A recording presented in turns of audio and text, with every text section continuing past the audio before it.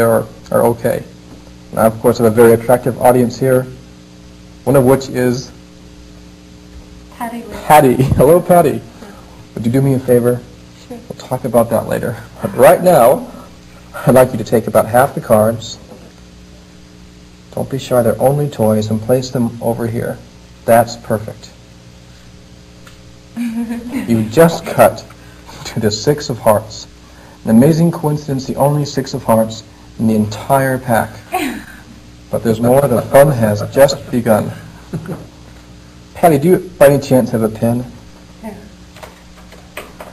Well, today's my lucky day. You pull off the cap. You touch the pen.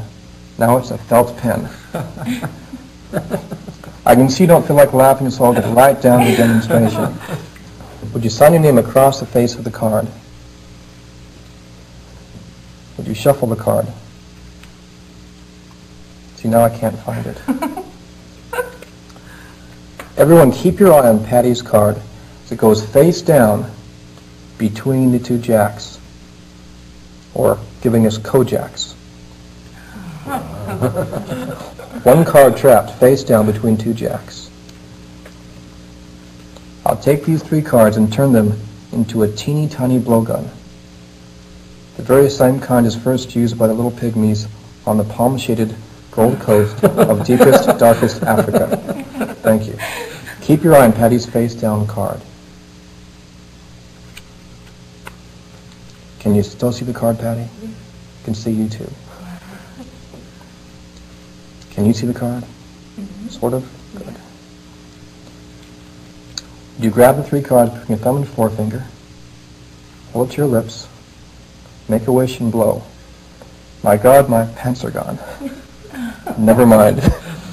Would you unfold the three cards and give me the sign six? It's disappeared. And having left Patty's, Patty's hand flown through the air, dived inside the deck, and yes, Patty, your wish has been granted. The wrinkles are gone. Ah. Thank you, thank you. Now you can have those as souvenirs. I'll do it one more time without wrinkling the cards. These two cards over here, which are not important cards, and of course the signed Patty card, the six of hearts. Keep your eye on Patty's card while we trap it face down between the other two in different cards. That's right, two cards that just don't care. Patty, will you do me a favor? Talk about that later. But right now, take your thumb and forefinger and give them to me. Oh no.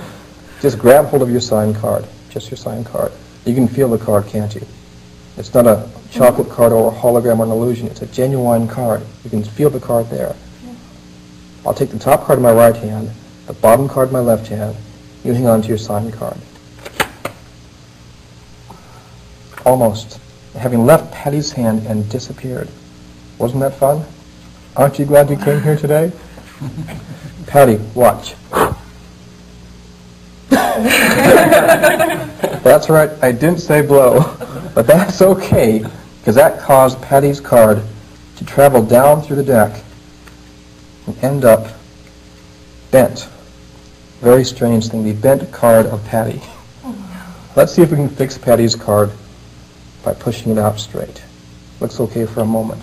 When I press, it goes from being a straight card back to a bent Patty card. Was a cake, it'd be a patty cake, but it's a card, so it's a patty card. But that's okay. One more time.